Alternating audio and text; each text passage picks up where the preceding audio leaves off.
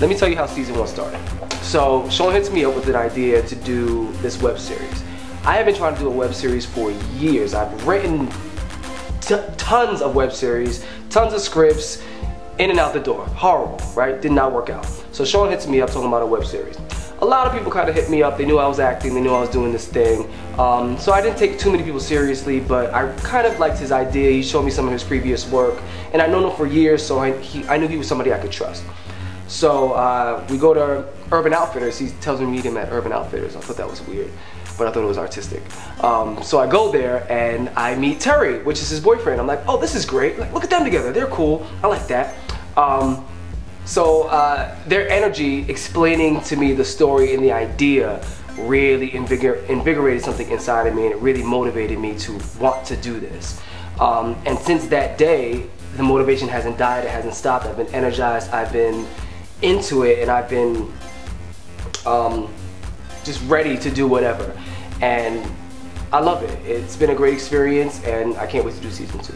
I just want to first and foremost thank everybody that has supported No Shade, that has watched No Shade, that has told their friends about No Shade, followed us on Instagram, and has continuously asked us for more and more and more and more and more. You guys have been following us on our journey since day one, so we absolutely must continue the journey and see what unfolds for all the characters in the show. When we started writing this, our purpose was to build a story that hasn't been told before.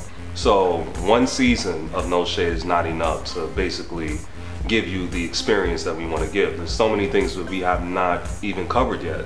We hit the tip of the iceberg with these characters. There's so much more to be told. To learn about what it's like to be a trans woman, to learn about what it's like to be a gay black man, like these are stories that have been formulating for years and one season cannot contain the story. What we really need to make season two happen is we need you guys. We need you more than ever now. So we live in New York City, right? And it's probably, I think it's the most expensive city to live in. Am I right? Yeah, most expensive city? Yeah, I'm talking to you, producer. Sean, is oh. the most expensive city? Yeah, I pretty much so say that, yeah. Okay, yeah. So it's the most expensive city to live in, and we all live here. And um, this is this is my job. This is our jobs. Uh, I mean, we have gigs here and there, but we have dedicated our lives to this work. We sometimes spend a lot of hours. Like, I remember shooting for 12 hours one time. And for the most part, you know, there's no craft services. Sometimes we are hungry.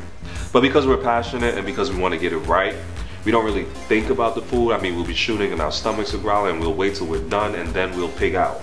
But for the most part, we would not have food or water or anything of the sort. I'm tired of being hungry on set and can't remember my lines because I'm so hungry. And it's no shade, hashtag. But I'm tired of layering under my clothes because the clothes that we buy are so cheap and Danielle's cold outside. I'm tired of doing my own makeup. Please support us.